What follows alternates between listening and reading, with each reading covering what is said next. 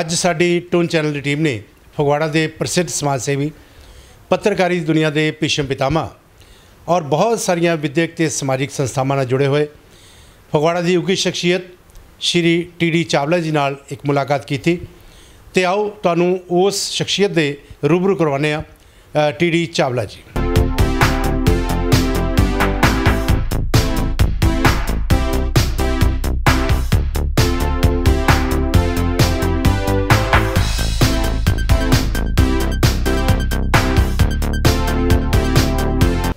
ਚਾਵਲਾ ਜੀ ਨਮਸਕਾਰ। ਨਮਸਕਾਰ। ਸਰ ਅਸੀਂ ਚਾਹਾਂਗੇ ਕਿ ਤੁਹਾਡੀ ਜਿਹੜੀ ਅਰਲੀ ਲਾਈਫ ਰਹੀ ਹੈ ਤੁਹਾਡੀ ਬਚਪਨ ਤੁਹਾਡੀ ਜਵਾਨੀ ਔਰ ਤੁਸੀਂ ਸ਼ਹਿਰ ਦੇ ਵਿੱਚ ਇੱਕ ਵਪਾਰੀ ਹੋਣ ਦੇ ਨਾਤੇ ਬੜੇ ਪ੍ਰਸਿੱਧ ਹੋ ਜਿੱਥੇ ਤੁਸੀਂ ਜੋ ਜਰਨਲਿਜ਼ਮ ਦਾ ਖੇਤਰ ਹੈ ਪੱਤਰਕਾਰੀ ਦਾ ਖੇਤਰ ਹੈ ਉਰੇ ਤੁਹਾਡੀ ਬਹੁਤ ਵੱਡੀ ਦੇਣ ਹੈ। ਔਰ ਅਸੀਂ ਤਾਂ ਕਹਿੰਦੇ ਕਿ ਤੁਸੀਂ ਵਾਕਈ ਫਗਵਾੜਾ ਦੇ ਭੀਸ਼ਮ ਪਿਤਾਮਾ ਹੋ। ਸਾਨੂੰ ਇਹਦੇ ਬਾਰੇ ਕੋਈ ਜਾਣ ਕੇ ਤੁਹਾਡੀ ਆਪਣੀ ਪਹਿਲਾਂ ਜਿਹੜੀ ਅਰਲੀ ਜ਼ਿੰਦਗੀ ਆ ਮੁੱਢਲੀ ਜੀਵਨ ਹੈ ਤੁਹਾਡਾ ਕਿੱਥੇ ਤੁਸੀਂ ਰਹੇ ਔਰ ਕਿੱਥੋਂ ਤੁਹਾਡਾ ਜੀਵਨ ਸ਼ੁਰੂ ਹੋਇਆ? ਮੈਨੂੰ ਸਭ ਤੋਂ ਪਹਿਲਾਂ ਮੈਂ ਤੁਹਾਡੇ ਇਸ ਨਵੇਂ ਟਰਨ ਚੈਨਲ ਨੂੰ ਵਧਾਈ ਦਿੰਦਾ ਕਿ ਮੀਡੀਆ ਦੇ ਖੇਤਰ ਵਿੱਚ ਵੱਡੀਆਂ ਪਲੰਘਾਂ ਭਰ ਰਿਹਾ। ਮੈਂ ਬੜਾ ਮੇਰਾ ਬਹੁਤ ਸੰਘਰਸ਼ਪੂਰਨ ਜੀਵਨ ਹੈ ਪਹਿਲੇ ਦਿਨ ਤੋਂ ਹੀ। ਪਾਕਿਸਤਾਨ ਤੋਂ 5-7 ਸਾਲ ਦਾ ਸੀ, ਜਿਸ ਵੇਲੇ ਆਏ ਹਾਂ ਅਸੀਂ। ਥੋੜ੍ਹਾ ਚਿਰ ਪਰਿਵਾਰ ਸਾਡਾ ਜਲੰਧਰ ਰਿਹਾ, ਬਹੁਤ ਉੱਜੜ ਕੇ ਆਏ ਹਾਂ ਔਰ ਲੰਬੀ ਚੌੜੀ ਗੱਲ ਇਹ ਵੀ ਰਸਤੇ ਦੇ ਵਿੱਚ ਜੇ ਉਹਨੂੰ ਬਿਆਨ ਕਰੀਏ ਤਾਂ ਮ- ਲੰਬਾ ਕੰਮ ਹੋ ਜਾਂਦਾ। ਅਸੀਂ ਕੁਝ ਜਲੰਧਰ ਰਹੇ, ਫਿਰ ਰਾਹੋਂ ਖੇਤੀ ਕਰਦੇ ਰਹੇ, ਫਿਰ ਚਿੱਕਾ ਪਿੰਡ ਹੈ, ਉੱਥੇ ਸ਼ਾਪ ਕੀਤੀ। ਅਜੇ ਵੀ ਉੱਥੇ ਸ਼ਾਪ ਹੈ ਪਰਿਵਾਰ ਹੈ। ਮੈਂ ਇੱਥੇ ਪੜ੍ਹਨ ਰਾਮਗੜੀਆ ਪੋਲੀਟੈਕਨਿਕ ਆਇਆ ਸੀ। ਮੇਰਾ ਸ਼ਾਦੀ ਪੁਆੜੇ ਹੋਈ ਔਰ ਉਹਦੇ ਇੰਜੀਨੀਅਰਿੰਗ ਕਰਨ ਆਇਆ ਸੀ ਇੱਥੇ।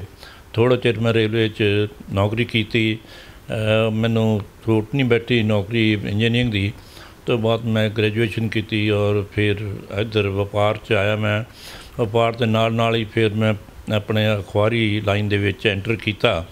ਔਰ ਅਖਬਾਰੀ ਲਾਈਨ ਦੇ ਵਿੱਚ ਵੀ ਮੈਨੂੰ ਅਚਾਨਕ ਜਿੰਨਾ ਕੁ ਮੈਂ ਪਹਿਲਾਂ ਸੰਘਰਸ਼ ਕੀਤਾ ਸੀ, ਉਹਦੇ 'ਚ ਜਿੰਨੀਆਂ ਮੈਨੂੰ ਪ੍ਰੋਬਲਮ ਆਈਆਂ, ਉਹਨੇ ਮੈਨੂੰ ਮਜਬੂਰ ਕੀਤਾ ਅਖਬਾਰੀ ਲਾਈਨ ਅਡਾਪਟ ਕਰਨ ਦਾ। ਔਰ ਮੈਨੂੰ ਸਰ ਸਾਹਿਬ ਸਿੰਘ ਹਮਦਰਦ ਅਜੀਤ ਅਖਬਾਰ ਦੇ ਜਿਹੜੇ ਮਾਲਕ ਸੀ ਉਹ ਸਾਡੇ ਪਿੰਡ ਦੇ ਸੀ ਔਰ ਕਿਸੇ ਨਾ ਤਰ੍ਹਾਂ ਉਹਨਾਂ ਨੇ ਮੈਨੂੰ ਅ, ਆਸ਼ੀਰਵਾਦ ਦਿੱਤਾ ਪ੍ਰੇਰਣਾ ਦਿੱਤੀ ਔਰ ਅਜੀਤ ਅਖਬਾਰ ਨਾਲ ਜੁੜਿਆ ਤੇ 1973 ਤੋਂ ਤੇ ਮੈਂ ਉਸ ਦੀ ਸੇਵਾ ਨਿਭਾ ਰਿਹਾ।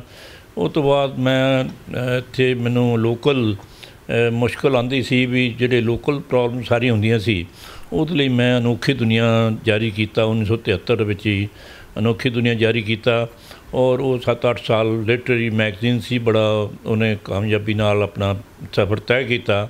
ਫਿਰ ਲੋਕਲ ਹੋਰ ਲੋਕਾਂ ਦੀਆਂ ਜਿਹੜੀਆਂ ਰੋ- ਸਮਾਜਿਕ ਸੰਸਥਾਵਾਂ ਸੀ ਅ, ਵਿਦਿਅਕ ਅਦਾਰੇ ਸੀ ਉਹਨਾਂ ਲਈ ਵੀ ਮੈਂ ਸਮਝਦਾ ਸੀ ਉਹਨਾਂ ਦੀ ਸੇਵਾ ਕਰਨੀ ਚਾਹੀਦੀ ਆ। ਹੋਰ ਲੋਕਲ ਇਸ਼ੂ ਹੁੰਦੇ ਸੀ, ਵਿਕਾਸ ਦੇ ਇਸ਼ੂ ਹੁੰਦੇ ਸੀ, ਉਹਦੇ ਲਈ ਮੈਂ ਨਿਊਜ਼ ਮੇਕਰ ਸ਼ੁਰੂ ਕੀਤਾ।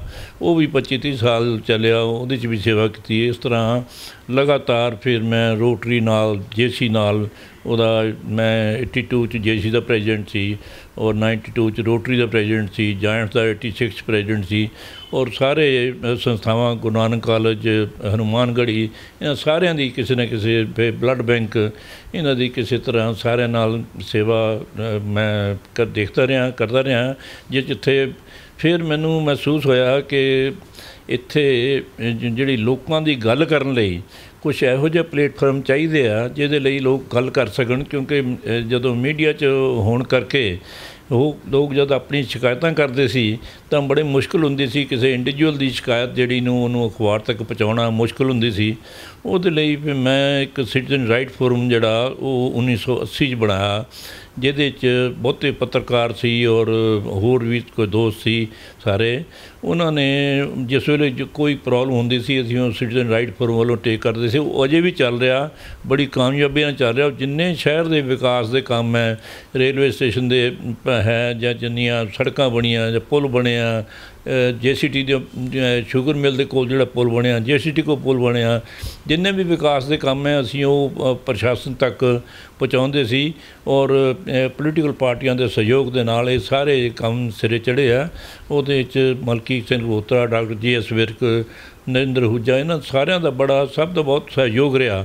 ਤੇ ਉਹ ਇੱਕ ਫੋਰਮ ਜਿਹੜਾ ਉਹਦਾ ਮੈਨੂੰ ਉੱਤੇ ਬਹੁਤ ਮਾਣ ਵੀ ਹੈ, ਖੁਸ਼ੀ ਵੀ ਹੈ ਕਿ ਜਿਹੜੇ ਲੋਕ ਲੋਕਾਂ ਦਾ ਦਰਦ ਸਮਝਦੇ ਆ ਉਹ ਇਸ ਫੋਰਮ ਨਾਲ ਜੁੜੇ ਆ ਔਰ ਇਸ ਤਰ੍ਹਾਂ ਜੁੜੇ ਆ ਕਿ ਉਹ ਆਪਣੀਆਂ ਜਿਹੜੀਆਂ ਪ੍ਰੋਬਲਮਾਂ ਸਰਕਾਰ ਤੱਕ ਪਹੁੰਚਾਉਣ, ਜਿਹੜੇ ਨਾਨ ਪੋਲੀਟੀਕਲ ਖਾਸ ਕਰਕੇ ਲੋਕ ਆ, ਉਹਨਾਂ ਲਈ ਇਹ ਇੱਕ ਆਵਾਜ਼ ਹੈ, ਕਿਉਂਕਿ ਰਾਜਨੀਤੀ 'ਚ ਬਹੁਤੇ ਲੋਕ ਜਿਹੜੇ ਬਹੁਤੇ ਇੰਟੈਲੀਜੈਂਸੀਆ ਉਹ ਜਾਣਾ ਬਹੁਤਾ ਪਸੰਦ ਨਹੀਂ ਕਰਦਾ।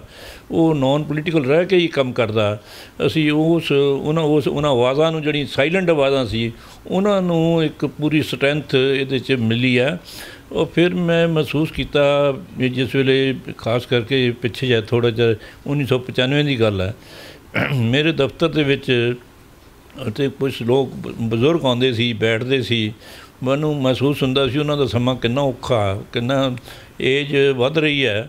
1947 ਦੇ ਵਿੱਚ ਜਿਹੜੀ ਐਵਰੇਜ ਏਜ ਸੀ ਇੰਡੀਅਨ ਦੀ, ਉਹ 34 ਸਾਲ ਸੀ ਔਰ ਹੁਣ 72 73 ਸਾਲ ਹੈ। ਔਰ ਏਜ ਵਧਣ ਦੇ ਨਾਲ ਜਿਹੜੇ ਰਿਟਾਇਰ ਹੋਣ ਤੋਂ ਬਾਅਦ ਸਮਾਂ ਪਾਸ ਕਰਨਾ ਬੜਾ ਮੁਸ਼ਕਲ ਹੁੰਦਾ। ਕੋਈ ਆਦਮੀ ਕਿਸੇ ਤਰ੍ਹਾਂ ਕਰਦਾ, ਕੋਈ ਕਿਸੇ ਤਰ੍ਹਾਂ ਕਰਦਾ, ਲੇਕਿਨ ਉਹਨੂੰ ਕੋਈ ਰਸਤਾ ਨਹੀਂ ਲੱਭਦਾ। ਮੈਂ ਉਹ ਸਾਰੀ ਗੱਲ ਡਾਕਟਰ ਖਲ ਮਹਿੰਦਰ ਸਿੰਘ ਘੁੰਮਣ ਮੈਨੂੰ ਯਾਦ ਆਉਂਦੇ, ਮੈਨੂੰ ਅਕਸਰ ਮਿਲਦੇ ਹੁੰਦੇ ਸੀ। ਉਹ ਜਲੰਧਰੋਂ ਪੜ੍ਹਾ ਕੇ ਆਉਂਦੇ ਸੀ। ਸਭ ਤੋਂ ਵੱਧ ਪੜ੍ਹੇ ਲਿਖੇ ਆਦਮੀ ਸੀ ਫੁਆੜੇ ਦੇ ਉਹ। ਉਹ ਜਦੋਂ ਮੈਨੂੰ ਮਿਲਦੇ ਸੀ ਤਾਂ ਮੈਨੂੰ ਮਹਿਸੂਸ ਹੁੰਦਾ ਸੀ ਕਿ ਇੱਥੇ ਲੋੜ ਹੈ ਇਹਨਾਂ ਲੋਕਾਂ ਨੂੰ। ਇਹਨਾਂ ਇਹਨਾਂ 'ਚ ਬੜਾ ਪੋਟੈਂਸ਼ੀਅਲ ਹੈ, ਇਹਨਾਂ 'ਚ ਬੜੀ ਸ਼ਕਤੀ ਹੈ, ਬੜਾ ਗਿਆਨ ਹੈ। ਉਹ ਸ਼ਹਿਰ ਦੇ ਲਈ ਇਸ ਗਿਆਨ ਦਾ ਫਾਇਦਾ ਉਠਾਉਣਾ ਚਾਹੀਦਾ, ਸੀਨੀਅਰ ਸਿਟੀਜ਼ਨ ਤੇ ਤਜਰਬੇ ਦਾ ਫਾਇਦਾ ਉਠਾਉਣਾ ਚਾਹੀਦਾ। ਸ਼ਹਿਰ ਨੂੰ ਗਾਈਡੈਂਸ ਦੇਣਗੇ ਔਰ ਇਹਨੂੰ ਸ਼ਹਿਰ ਨੂੰ ਪ੍ਰੋਪਰਲੀ ਸੁਪਰਵਾਈਜ਼ ਕਰੂਗੇ। ਇਹ ਫਿਰ ਸੀਨੀਅਰ ਸਿਟੀਜ਼ਨ ਕਾਉਂਸਲ ਜਿਹੜੀ ਆ, ਉਹ ਦ- ਉੱਥੇ ਦਫ਼ਤਰ 'ਚ ਰੇਲਵੇ ਰੋਡ ਤੇ ਬਣਾਈ ਸੀ, ਜਿਹੜੀ ਕਿ ਅਜੇ ਵੀ ਇਸ ਵੇਲੇ ਕੋਰਟ ਕੰਪਲੈਕਸ 'ਚ ਬੜੀ ਕਾਮਯਾਬੀ ਨਾਲ ਚੱਲ ਰਹੀ ਆ ਔਰ ਲੋਕ ਕਾਫੀ ਸਹਿਯੋਗ ਦਿੰਦੇ ਆ। ਚਾਵਲਾ ਜੀ, ਜਿਸ ਤਰ੍ਹਾਂ ਤੁਸੀਂ ਹੁਣੇ ਦੱਸਿਆ, ਮੈਂ ਬੜਾ ਹੈਰਾਨ ਹਾਂ ਇਸ ਗੱਲ ਤੋਂ ਕਿ ਇੱਕ ਠਾਕੁਰਦਾਸ ਚਾਵਲਾ ਯੰਗ ਇੰਜੀਨੀਅਰ ਉਸ ਤੋਂ ਬਾਅਦ ਵਪਾਰਕ ਦੇ ਖੇਤਰ 'ਚ ਆ ਗਿਆ। ਉਸ ਤੋਂ ਬਾਅਦ ਪੱਤਰਕਾਰੀ ਦੇ ਖੇਤਰ 'ਚ ਵੀ ਨਾਮਣਾ ਖੱਟਿਆ। ਤੇ ਇਹ ਜਿਹੜਾ ਸਾਰਾ ਤੁਸੀਂ ਕਰ ਰਹੇ ਹੋ, ਜਿਸ ਤਰੀਕੇ ਨਾਲ ਤੁਸੀਂ ਆਪਣੀ ਲਾਈਫ ਨੂੰ ਚਲਾਇਆ, ਜਿਸ ਤਰੀਕੇ ਨਾਲ ਸਫਲਤਾਪੂਰਵਕ ਸਾਰੇ ਕੰਮ ਨੇ ਨੇਪਰੇ ਚੜ੍ਹੇ ਆ। ਤੁਸੀਂ ਅਖਬਾਰਾਂ ਵੀ ਕੱਢੀਆਂ, ਬਹੁਤ ਸਾਰੀਆਂ ਸਮਾਜਿਕ ਸੰਸਥਾਵਾਂ ਨਾਲ, ਉਹਨਾਂ ਨਾਲ ਵੀ ਜੁੜੇ ਹੋਏ ਹੋ ਔਰ ਇਸ ਵੇਲੇ ਸਿਟੀਜ਼ਨ ਰਾਈਟ ਫੋਰਮ ਦੇ ਪਲੇਟਫਾਰਮ ਤੇ ਬਹੁਤ ਅੱਛਾ ਕੰਮ ਕਰ ਰਹੇ ਹੋ। ਤੇ ਜਿਹੜੀ ਅੱਜ ਦੀ ਪੱਤਰਕਾਰੀ ਹੈ, ਤੁਹਾਡੇ ਸਮੇਂ ਦੀ ਪੱਤਰਕਾਰੀ ਦਾ ਅੱਜ ਦੀ ਪੱਤਰਕਾਰੀ ਜ਼ਮੀਨ ਸਮਾਨ ਦਾ ਅੰਤਰ ਹੋ ਗਿਆ।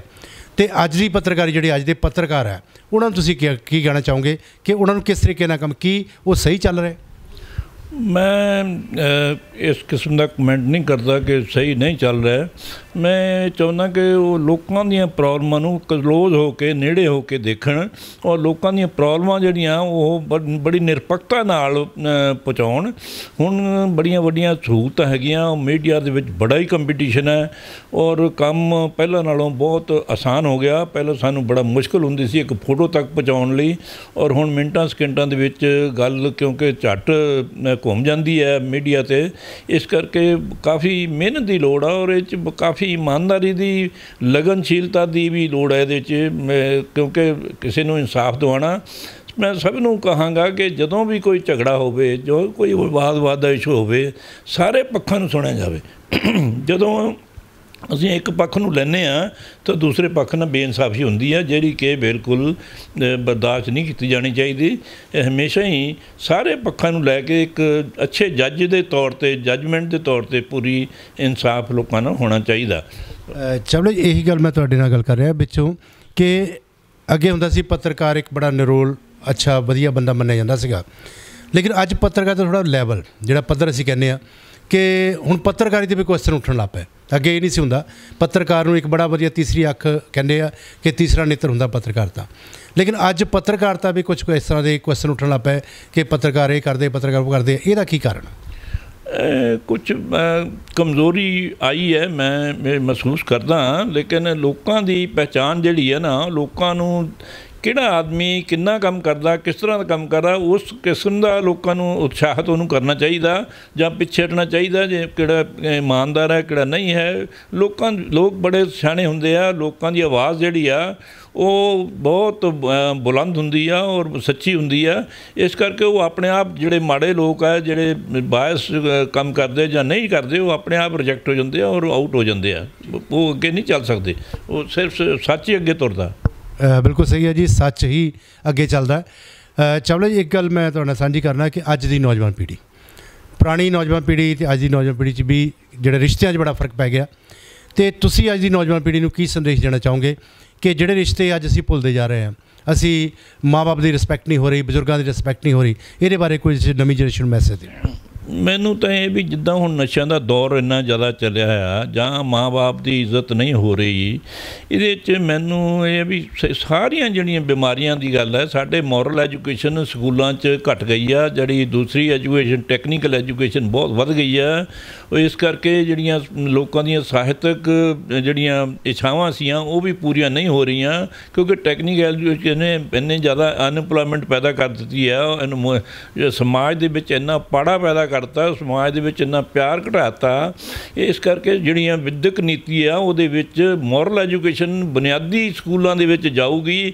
ਤਾਂ ਇਮਾਨਦਾਰੀ ਆਊਗੀ, ਤਾਂ ਫਿਰ ਨਸ਼ਿਆਂ ਤੇ ਦੂਰ ਲੋਕ ਹੋਊਗੇ, ਤਾਂ ਲੋਕ ਮਾਂ-ਬਾਪ ਦੀ ਸੇਵਾ ਕਰੂਗੇ ਔਰ ਮਾਂ-ਬਾਪ ਤੋਂ ਲੋਕ ਦੂਰ ਹੁੰਦੇ ਜਾ ਰਹੇ ਔਰ ਖਾਸ ਕਰਕੇ ਬਹੁਤੇ ਕ੍ਰਾਈਮ ਜਿਹੜਾ ਇਸ ਕਰਕੇ ਹੀ ਵਧਿਆ ਹੈਗਾ ਕਿ ਅਨਇੰਪਲੋਇਮੈਂਟ ਬਹੁਤ ਜ਼ਿਆਦਾ ਹੈਗੀ ਆ, ਲੋਕ ਬਾਹਰ ਜਾ ਰਹੇ ਆ ਔਰ ਮਾਂ-ਬਾਪ ਜਿਹੜੇ ਆ, ਉਹ ਬਹੁਤ ਇਕੱਲੇ-ਇਕੱਲੇ ਮਹਿਸੂਸ ਕਰਦੇ, ਬੜੀ ਪਰੇਸ਼ਾਨੀ ਮਹਿਸੂਸ ਕਰਦੇ ਆ। ਸਮਾਜ ਦੇ ਵਿੱਚ ਬਹੁਤ ਭੈੜੀ ਤਬਦੀਲੀ ਆ ਰਹੀ ਹੈ ਜਿਹੜੀ ਇਨਸਿਕਿਉਰਿਟੀ ਪੈਦਾ ਹੋ ਰਹੀ ਹੈ ਮਾਂ-ਬਾਪ ਲਈ ਔਰ ਬੱਚਿਆਂ ਲਈ ਇਨਸਿਕਿਉਰਿਟੀ ਪੈਦਾ ਹੋ ਰਹੀ, ਨੌਕਰੀ ਨਹੀਂ ਹੈ। ਮੈਂ ਚਾਹੁੰਦਾ ਸਰਕਾਰਾਂ ਜੇ ਨੌਕਰੀ ਨਹੀਂ ਦੇ ਸਕਦੀਆਂ ਤਾਂ ਘੱਟੋ ਘੱਟ ਅਨਐਮਪਲੋਇਮੈਂਟ ਲੇਵਲ ਅਨਾਉਂਸ ਦੇਣ ਜਿਹੜੇ ਹੈਂਡੀਕੈਪਡ ਉਹਨਾਂ ਨੂੰ ਅਲਾਉਂਸ ਦੇਣ ਬਜ਼ੁ- ਬਜ਼ੁਰਗਾਂ ਨੂੰ ਦੇਣ, ਇਹ ਫੌਰਨ ਪੱਧਰ ਤੇ ਜਦ ਤੱਕ ਇਹ ਜਿਹੜੇ ਆਪਣੇ ਬਜਟ ਹੈਗੇ ਉਹ ਇਸ ਤਰ੍ਹਾਂ ਦੇ ਨਹੀਂ ਕਰਦੇ, ਲੋਕ ਇਦਾਂ ਇਦਾਂ ਨਹੀਂ ਕਰਦੇ ਤੇ ਕ੍ਰਾਈਮ ਜਿਹੜਾ ਉਹ ਵਧੇਗਾ ਔਰ ਸਮਾਜ ਦੇ ਵਿੱਚ ਬਹੁਤ ਪਰੇਸ਼ਾਨੀਆਂ ਪੈਦਾ ਹੋਣਗੀਆਂ। ਪੰਜਾਬ 'ਚ ਅਸਲੇ ਦੋ ਕਰੰਟ ਇਸ਼ੂ ਬਹੁਤ ਤੇਜ਼ੀ ਨਾਲ ਚੱਲ ਰਹੇ ਜੀ, ਇੱਕ ਤਾਂ ਨਸ਼ਾ ਤੇ ਦੂਸਰਾ ਕਰਪਸ਼ਨ ਚਲੋ ਪੂਰੇ ਹਿੰਦੁਸਤਾਨ 'ਚ ਵੀ ਪੰਜਾਬ ਯੂ ਦਾ ਇਹ 'ਚ ਸ਼ਾਮਲ ਹੈ। ਤੇ ਇਹ ਕਰਪਸ਼ਨ ਦੇ ਪਿੱਛੇ ਤੁਸੀਂ ਕੀ ਸਮਝਦੇ ਹੋ ਕਿ ਜਿਹੜੀ ਸਾਡੀ ਰਾਜਨੀਤੀ ਜਾਂ ਸਾਡੀ ਪੋਲਿਟਿਕਸ ਹੈ, ਇਹਦੇ ਲਈ ਕਿੰਨੀ ਕੁ ਜ਼ਿੰਮੇਵਾਰ ਹੈ?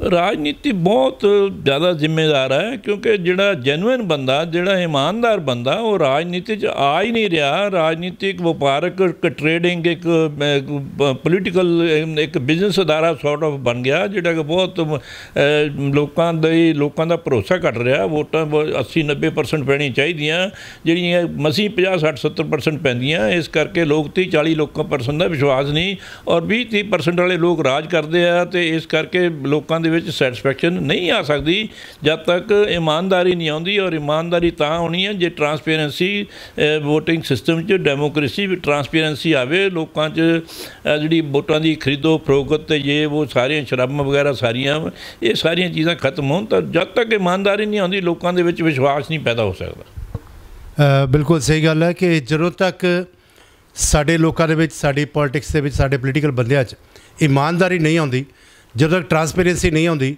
ਜਦੋਂ ਤੱਕ ਇਹ ਭ੍ਰਸ਼ਟਾਚਾਰ ਖਤਮ ਨਹੀਂ ਹੁੰਦਾ, ਸਾਡੇ ਦੇਸ਼ ਜਿਹੜਾ ਉਹ ਬਹੁਤਾ ਤਰੱਕੀ ਨਹੀਂ ਕਰ ਸਕਦਾ। ਲੇਕਿਨ ਜਿੱਥੇ ਤੱਕ ਇਹ ਮਨ ਦੀ ਭਾਵਨਾਵਾਂ, ਅਸੀਂ ਹੁਣੇ ਗੱਲਬਾਤ ਕੀਤੀ ਟੀਡੀ ਚਾਵਲਾ ਜੀ ਨਾਲ, ਉਹਨਾਂ ਦੇ ਮਨ ਦੀ ਭਾਵਨਾ ਹੀ ਨਹੀਂ, ਬਲਕਿ ਪੂਰੇ ਸ- ਅਸੀਂ ਕਹੀਏ ਕਿ ਪੰਜਾਬ ਦੇ ਹਰ ਨਿਵਾਸੀ, ਹਿੰਦੁਸਤਾਨ ਦੇ ਹਰ ਨਾਗਰਿਕ ਦੇ ਇਹ ਮਨ ਦੇ ਵਿੱਚ ਗੱਲ ਉੱਠ ਰਹੀ ਹੈ ਕਿ ਸਾਡੇ ਦੇਸ਼ ਭ੍ਰਸ਼ਟਾਚਾਰ ਹੈ, ਸਾਡੇ ਦੇਸ਼ ਜਿਹੜਾ ਹੈ, ਉਹ ਖਰੀਦੋ ਫਰੋਖਤ ਹੁੰਦੀ, ਵੋਟਾਂ ਦੇ ਵੇਲੇ ਖਰੀਦੋ ਫਰੋਖਤ ਹੁੰਦੀ ਹੈ ਔਰ ਭ੍ਰਸ਼ਟਾਚਾਰ ਨੇ ਇਹ ਜਾਲ ਵਿਛਾਇਆ। ਸੋ ਅਸੀਂ ਇਹ ਅਪੀਲ ਕਰਾਂਗੇ ਜਿੱਥੇ ਟੋਨ ਚੈਨਲ ਥਰੂ ਔਰ ਸ਼੍ਰੀ ਟੀ ਡੀ ਚਾਵਲਾ ਜੀ, ਉਹ ਵੀ ਇਹੀ ਗੱਲ ਸਾਡੀ ਕਹਿਣੀ ਚਾਹੁੰਦੇ ਆ ਕਿ ਦੇਸ਼ 'ਚੋਂ ਭ੍ਰਸ਼ਟਾਚਾਰ ਖਤਮ ਹੋਵੇ ਔਰ ਪੱਤਰਕਾਰਤਾ ਹੀ ਇਹਨੂੰ ਖਤਮ ਕਰ ਸਕਦੀ ਹੈ। ਚਾਵਲਾ ਜੀ, ਤੁਸੀਂ ਇਹ ਗੱਲ ਨਾਲ ਸਹਿਮਤ ਹੋ?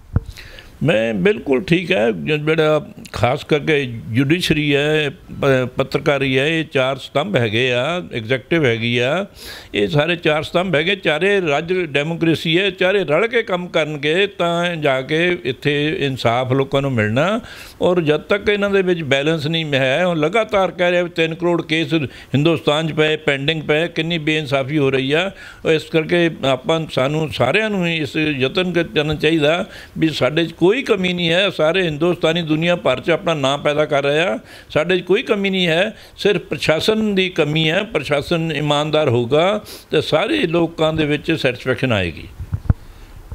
ਬਹੁਤ ਅੱਛੀ ਗੱਲ ਕੀਤੀ ਚਾਵਲਾ ਨੇ ਕਿ ਜਦੋਂ ਤੱਕ ਅਸੀਂ ਸਾਰੇ ਰਲ ਮਿਲ ਕੇ ਔਰ ਵਧੀਆ ਢੰਗ ਦੇ ਨਾਲ ਕੰਮ ਨਹੀਂ ਕਰਦੇ ਟਰਾਂਸਪੇਰੈਂਸੀ ਨਹੀਂ ਲਿਆਉਂਦੇ ਚਾਰੇ ਜਿਹੜੇ ਹਿੰ- ਲੋਕ ਡੈਮੋਕ੍ਰੇਸੀ ਦੇ ਸਤੰਭ ਹੈ। ਅਗਰ ਰਲ ਮਿਲ ਕੇ ਕੰਮ ਨਹੀਂ ਕਰਦੇ, ਇਮਾਨਦਾਰੀ ਨਾਲ ਕੰਮ ਨਹੀਂ ਕਰਦੇ, ਤਾਂ ਹਿੰਦੁਸਤਾਨ ਜਿਹੜਾ ਹੈ, ਉਦੋਂ ਤੱਕ ਤਰੱਕੀ ਨਹੀਂ ਕਰੇਗਾ। ਹਿੰਦੁਸਤਾਨ ਕੋਲ ਕੈਲੀਬਰ ਹੈ, ਹਿੰਦੁਸਤਾਨ ਕੋਲ ਟੈਲੈਂਟ ਹੈ। ਪੰਜਾਬੀਆਂ ਕੋ ਖਾਸ ਤੌਰ ਤੇ ਟੈਲੈਂਟ ਹੈ ਕਿ ਇੱਕ ਬ੍ਰੇਨ ਡਰੇਨ ਦੀ ਜਿਹੜੀ ਸਮੱਸਿਆ ਹੋ ਰਹੀ ਬਹੁਤ ਵੱਡੀ, ਜੋ ਕਿ ਬੱਚੇ ਬਾਹਰ ਨੂੰ ਦੌੜ ਰਹੇ ਆ। ਚਾਵਲਾ ਜੀ, ਇਹਦਾ ਕੀ ਕਾਰਨ ਹੈ ਕਿ ਸਾਡੇ ਪੰਜਾਬ ਦੇ ਬੱਚੇ ਖਾਸ ਤੌਰ ਤੇ ਜ਼ਿਆਦਾ ਪ੍ਰੈਫਰ ਕਰ ਰਹੇ ਬਾਹਰ ਜਾਣ ਨੂੰ, ਬਲਕਿ ਇੱਥੇ ਰਹਿਣਾ ਪਸੰਦ ਨਹੀਂ ਕਰ ਰਹੇ। ਕਿਉਂ?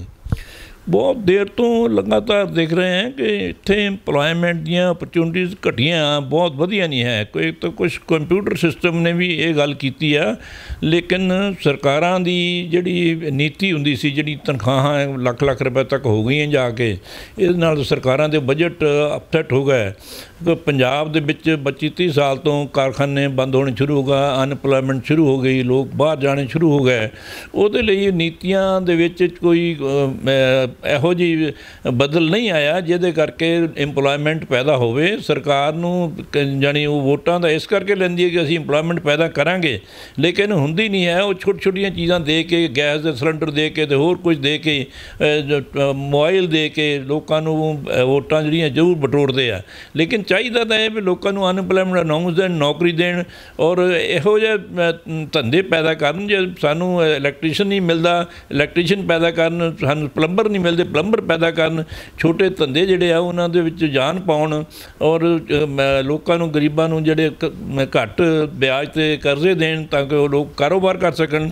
ਇਸ ਕਰੀ EMPLOYMENT ਦੇ ਸਕੋਪ ਬਹੁਤ ਹੈਗੇ ਆ, ਲੇਕਿਨ EMPLOYMENT ਦੇ ਸਕੋਪ ਘਰਾਂ ਦੇ ਵਿੱਚ ਕ- ਜਿਹੜੇ ਟ੍ਰੇਨਡ ਕੁੱਕ ਨਹੀਂ ਲੱਭਦੇ, ਬੜਾ ਕੁਝ ਕਰਨ ਵਾਲਾ ਹੈਗਾ, ਜਾਣੀ ਜਿਹੜੇ ਬੰਦੇ ਟ੍ਰੇਨ ਚਾਹੀਦੇ ਆ, ਉਹਨਾਂ ਨੂੰ ਉਹ ਪ੍ਰੋਫੈਸ਼ਨ ਨਹੀਂ ਸਿਖਾਇਆ ਜਾ ਰਿਹਾ ਤੇ ਲੋਕਾਂ ਨੂੰ ਰੋਟੀ ਪਕਾਉਣ ਤੱਕ ਮੁਸ਼ਕਲ ਹੋ ਰਹੀ ਹੈ। ਕਰਮਚਾਰੀ ਘਰਾਂ 'ਚ ਮਿਲਦੇ ਨਹੀਂ ਹੈ ਔਰ ਸਰਕਾਰ ਅਨਪਲੋਇਮੈਂਟ ਕਹਿੰਦੀ ਹੈ ਅਨਪਲੋਇਮੈਂਟ ਕ੍ਰੀਏਟ ਕਰਨ ਲਈ ਉਹਨਾਂ ਨੂੰ ਲੋਕਾਂ ਨੂੰ ਟ੍ਰੇਨਿੰਗ ਦੇਣੀ ਪਊਗੀ, ਲੋਕਾਂ ਨੂੰ ਸਰਕਾਰ ਨੂੰ ਨੀਤੀਆਂ ਬਦਲਣੀਆਂ ਪੈਣਗੀਆਂ। ਬਿਲਕੁਲ ਸਹੀ ਗੱਲ ਹੈ ਕਿ ਲੋਕਾਂ ਨੂੰ ਸਕਿੱਲ ਪੈਦਾ ਕਰਨੀ ਪਏਗੀ। ਸਰਕਾਰਾਂ ਨੂੰ ਚਾਹੀਦਾ ਕਿ ਬਜਾਏ ਕਿ ਉਹਨਾਂ ਨੂੰ ਇਹ ਜ਼ਿਆਦਾਤਰ ਆਕੂਪੇਸ਼ਨ ਨੌਕਰੀ ਪੈਸੇ ਪਾਉਂਦੇ ਆ, ਉਹਦੀ ਬਜਾਏ ਚਾਹੀਦਾ ਕਿ ਉਹਨਾਂ ਨੂੰ ਸਕਿੱਲ ਪੈਦਾ ਕਰਨ ਤਾਂ ਕਿ ਬੱਚੇ ਜਿਹੜੇ ਸਕਿਲਡ ਹੋਣ ਔਰ ਆਪਣਾ ਜਿਹੜਾ ਨਿੱਜੀ ਤੌਰ ਤੇ ਕੰਮ ਕਰ ਸਕਣ। ਚਾਵਲਾ ਦੀ ਦੁਨੀਆਦਾਰੀ ਦੀ ਬਹੁਤ ਗੱਲਾਂ ਕਰ ਲਈਆਂ ਆਪਾਂ। ਹੁਣ ਮੈਂ ਚਾਹਾਂਗਾ ਤੁਹਾਡੀ ਫੈਮਿਲੀ ਤੁਹਾਡਾ ਪਰਿਵਾਰ, ਕਿਉਂਕਿ ਸਮਾਜ ਜਿਹੜਾ ਤੁਹਾਡਾ ਰੁਤਬਾ ਹੈ ਚਾਵਲਾ ਫੈਮਿਲੀ ਦਾ, ਇਹ ਨੈਚੁਰਲੀ ਕਿ ਇਹਦੇ ਪਿੱਛੇ ਜਿਹੜਾ ਪਰਿਵਾਰ ਵੀ ਬਹੁਤ ਵੱਡਾ ਕੰਮ ਕਰਦਾ। ਤੁਹਾਡੇ ਪਰਿਵਾਰ 'ਚ ਕੌਣ-ਕੌਣ ਹੈ ਔਰ ਕਿਸ ਤਰੀਕੇ ਨਾਲ ਤੁਹਾਡਾ ਪਰਿਵਾਰ ਚੱਲਦਾ ਮੇਰੇ ਪਰਿਵਾਰ ਦੇ ਵਿੱਚ ਅਸਲ 'ਚ ਅਸੀਂ ਚਾਰ ਬ੍ਰਦਰ ਸੀ। ਜਿਨ੍ਹਾਂ ਦੇ ਤਿੰਨਾਂ ਤਿੰਨ ਦੀ ਡੈਥ ਹੋ ਗਈ ਹੈ। ਇੱਕ ਮੇਰੀ ਸਿਸਟਰ ਹੈ ਉਹ ਸੰਤ ਹੈ ਇੱਕ ਮੈਂ ਆ ਮੇਰਾ ਮੇਰੇ ਪਰਿਵਾਰ ਦੇ ਅੰਦਰ ਮੇਰਾ ਬੇਟਾ ਦੋ ਉਹਦੀ ਵਾਈਫ ਸਲੋਨੀ ਔਰ ਅਹ, ਪੋਤੀਆਂ ਦੋ। ਔਰ ਦੋ ਮੇਰੀਆਂ ਬੇਟੀਆਂ ਇੱਕ ਅੰਮ੍ਰਿਤਸਰ ਵਿਆਹੀ ਆ ਇੱਕ ਜਲੰਧਰ ਵਿਆਹੀ ਆ। ਸਾਡੇ ਪਰਿਵਾਰ ਜੇ ਸ਼ੁਰੂ ਤੋਂ ਇੰਨੀ ਏਕਤਾ ਇੱਕ ਸਾਰਿਆਂ ਪਰਿਵਾਰਾਂ ਦੇ ਵਿੱਚ ਹੀ ਕਿ ਮੇਰੇ ਸਾਰੇ ਜਿਹੜੇ ਬ੍ਰਦਰ ਵੀ ਆ, ਉਹਨਾਂ ਦੇ ਬੇਟੇ ਵੀ ਆ, ਉਹ ਕਦੇ ਵੀ ਉਹਨਾਂ ਨੇ ਮੰਨ ਲਓ ਮੈਨੂੰ ਇੰਨਾ ਮਾਣ, ਸਤਿਕਾਰ, ਇੰਨਾ ਪਿਆਰ ਦਿੱਤਾ ਕਿ ਅਸੀਂ ਜਿੱਦਾਂ ਇੱਕ ਛੱਤ ਥੱਲੇ ਰਹਿੰਦੇ ਆ ਉਸ ਤਰ੍ਹਾਂ ਦਾ ਸਾਡੇ ਵਾਤਾਵਰਨ ਹੈ। ਤੇ ਮੈਨੂੰ ਬਹੁਤ ਸਹਿਯੋਗ ਮਿਲਿਆ। ਲਗਾਤਾਰ ਮੈਂ 20 ਸਾਲ ਤੋਂ ਹੀ ਮੈਂ ਰਿਟਾਇਰ ਹਾਂ ਆਲਮੋਸਟ ਮੈਨੂੰ ਨਹੀਂ ਪਤਾ ਲੱਗਦਾ ਮੈਨੂੰ ਇੰਨੇ ਸਾਰੇ ਸੁੱਖਾਂ ਦੇ ਵਿੱਚ ਸਾਰੇ ਪੱਤਰਕਾਰੀ ਮੈਂ ਤਾਂ ਹੀ ਕਰ ਸਕਿਆ ਕਿ ਪਰਿਵਾਰ ਦੀ ਸਪੋਰਟ ਬਗੈਰ ਪੱਤਰਕਾਰੀ ਹੋ ਨਹੀਂ ਸਕਦੀ, ਇੱਕ ਮਿੰਟ ਬੰਦਾ ਇੱਧਰ ਨਹੀਂ ਜਾ ਸਕਦਾ। ਕਿ ਮੈਂ ਪੂਰੀ ਆਜ਼ਾਦੀ ਪਹਿਲੇ ਦਿਨ ਤੋਂ ਮਾਣੀ ਹੈ। ਮੈਨੂੰ ਆਪਣੇ ਬ੍ਰਦਰ ਨੰਦ ਲਾਲ ਜੀ ਦਾ, ਸਾਰਿਆਂ ਦਾ ਮੁਕੇਸ਼ ਦਾ, ਦਿਪਨ ਦਾ ਬੜਾ ਸਹਿਯੋਗ ਮਿਲਿਆ। ਤਾਂ ਅਸੀਂ ਇਸ ਜਿਹੜੇ ਪ- ਪ੍ਰਮਾਤਮਾ ਨੇ ਕਾਰੋਬਾਰ ਦੇ ਵਿੱਚ ਵੀ ਸਾਰੇ ਪਾਸੇ ਸਾਨੂੰ ਬਹੁਤ ਕਿਰਪਾ ਸਾਡੇ ਤੇ ਕੀਤੀ ਹੈ। ਸ਼ਹਿਰੀਆਂ ਦਾ ਵੀ ਬਹੁਤ ਸਹਿਯੋਗ ਮਿਲਿਆ। ਮੈਂ ਇੱਕ ਇਸ ਤਰ੍ਹਾਂ ਦਾ ਸਹਿਯੋਗ ਮਿਲਿਆ ਕਿ ਸਾਡੇ ਭਰਾ ਜਿਸ ਤਰ੍ਹਾਂ ਲੱਗਦੇ ਆ ਸਾਡੇ, ਇਸ ਤਰ੍ਹਾਂ ਹੀ ਹੈ। ਸ਼ਹਿਰੀਆਂ ਦਾ ਮੈਂ ਹਰ ਇੱਕ ਦਾ ਧੰਨਵਾਦ ਕਰਦਾ, ਜਿਨ੍ਹਾਂ ਨੇ ਇੰਨਾ ਜ਼ਿਆਦਾ ਮਾਣ ਸਤਿਕਾਰ ਦਿੱਤਾ ਔਰ ਅਸੀਂ ਸੇਵਾ ਦੇ ਕੰਮ ਦੇ ਕਰ ਸਕੇ ਹਾਂ। ਇਹ ਸਭ ਦਾ ਪਰਿਵਾਰ ਦੀ ਵੀ ਔਰ ਸਾਰੇ ਸ਼ਹਿਰੀਆਂ ਦੀ ਸਭ ਦਾ ਸਹਿਯੋਗ ਇਹ 'ਚ ਸ਼ਾਮਲ ਹੈ ਸਾਡੀ ਸਾਰੀ ਕਾਮਯਾਬੀ ਦੇ ਵਿੱਚ। ਚਾਵਲਾ ਜੀ ਟੁਨ ਚੈਨਲ ਪਰਿਵਾਰ ਵੀ ਤੁਹਾਡੇ ਨਾਲ ਹੈ ਔਰ ਹਮੇਸ਼ਾ ਤੁਹਾਡੀ ਚੜ੍ਹਦੀ ਕਲਾ ਦੀ ਅਸੀਂ ਦੁਆ ਕਰਾਂਗੇ ਤੇ ਇਹ ਵੀ ਦੁਆ ਕਰਾਂਗੇ ਪ੍ਰਮਾਤਮਾ ਤੁਹਾਨੂੰ ਲੰਬੀ ਉਮਰ ਬਖਸ਼ੇ। ਕਿਉਂਕਿ ਤੁਹਾਡੀ ਜ਼ਿੰਦਗੀ ਦੇ ਤਜਰਬੇ ਆ, ਇਹ ਤੋਂ ਹੋਰ ਸਮਾਜ ਨੂੰ ਜਿਹੜਾ ਹੈ ਉਹ ਸੇਧ ਮਿਲ ਸਕੇ, ਅੱਜ ਦੀ ਨੌਜਵਾਨ ਪੀੜ੍ਹੀ ਨੂੰ ਸੇਧ ਮਿਲ ਸਕੇ ਔਰ ਇਹਦੇ ਨਾਲ ਤੁਹਾਡਾ ਪਰਿਵਾਰ ਵੀ ਵਧੇ ਫੁੱਲੇ। ਤੇ ਇੱਕ ਗੱਲ ਹੋਰ ਚਾਵਲਾ ਜੀ, ਤੁਹਾਡਾ ਪਰਿਵਾਰ 'ਚ ਇੱਕ ਧਾਰਮਿਕਤਾ ਮੈਂ ਬਹੁਤ ਦੇਖੀ ਆ ਕਿ ਰਿਲੀਜੀਅਸ ਪਰਿਵਾਰ ਹੈ। ਤੇ ਇਹ 'ਤੇ ਵੀ ਤੁਹਾਡੇ ਉਤੇ ਬਹੁਤ ਆਸ਼ੀਰਵਾਦ ਹੈ। ਬਜ਼ੁਰਗਾਂ ਦਾ, ਸੰਤਾਂ ਦਾ ਕਿ ਇਸ ਕਰਕੇ ਪਰਿਵਾਰ ਜਿਹੜਾ ਚੜ੍ਹਦੀ ਕਲਾ 'ਚ ਔਰ ਟੁਨ ਚੈਨਲ ਵੱਲੋਂ ਅਸੀਂ ਤੁਹਾਡੇ ਬਹੁਤ ਧੰਨਵਾਦੀ ਹਾਂ ਕਿ ਤੁਸੀਂ ਸਾਨੂੰ ਆਪਣਾ ਕੀਮਤੀ ਸਮਾਂ ਦਿੱਤਾ ਔਰ ਦੁਆ ਕਰਦੇ ਹਾਂ ਕਿ ਇਸੇ ਤਰ੍ਹਾਂ ਇਹ ਪਰਿਵਾਰ ਚੜ੍ਹਦੀ ਕਲਾ 'ਚ ਰਹੇ। ਮੈਂ ਸੁਸ਼ੀਲ ਸ਼ਰਮਾ, ਟੁਨ ਚੈਨਲ ਨਾਲ ਆਪਣੇ ਕੈਮਰਾਮੈਨ ਦਮਨਦੀਪ ਦੇ ਨਾਲ ਇੱਕ ਰਿਪੋਰਟ।